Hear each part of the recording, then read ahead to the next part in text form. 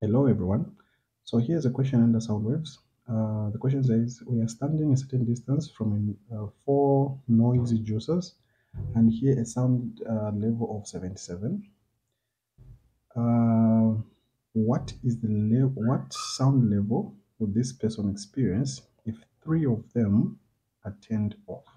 Okay, so we have the level, which is 77. So we just say the level beta 77 decibels.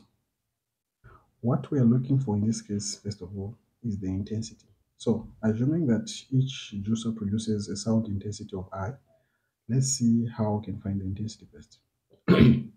so the level of intensity, beta, is given by the formula 10 log I over I naught. So I is the intensity, while I naught is the threshold of intensity. So to find the value of i, this is what we're going to do. Remember, beta have been given 77, so this is 77 is equals to 10 log i over i naught, like that. We can divide both sides by 10. So if we divide both sides by 10, what we'll get will be log i over i naught is equals to 7.7, like this. So now we have to change this expression from logarithmic form to exponential form, and this is how we'll do it. The base here is 10, so this will be 10 to the power, the exponent, which is 7.7. All this is equal to the argument, which is i over i naught. Since we're looking for intensity, we're going to cross multiply. Hence, intensity is equals to 10 to the power 7.7 multiplied by the threshold of intensity, I naught. Now, the threshold of intensity has a value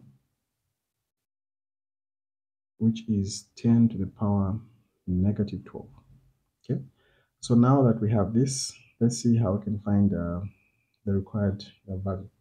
So, if we multiply the two, what we're going to get will be I as 5.01 times 10 to the power negative 5 watts per square meter.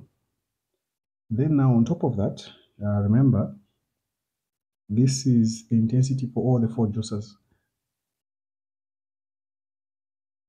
Meaning that uh, we're supposed to divide this intensity so that we get the intensity just for one. So the intensity for one juicer will be equals to the total intensity divided by the number of juicers. There are four of them. So 5.01 times 10 to the power negative 5 divided by 4. And this will give us the value 1.25 times 10 to the power negative 5 watts per square meter. So this is the intensity for one juicer. So I hope that makes sense. Thank you very much.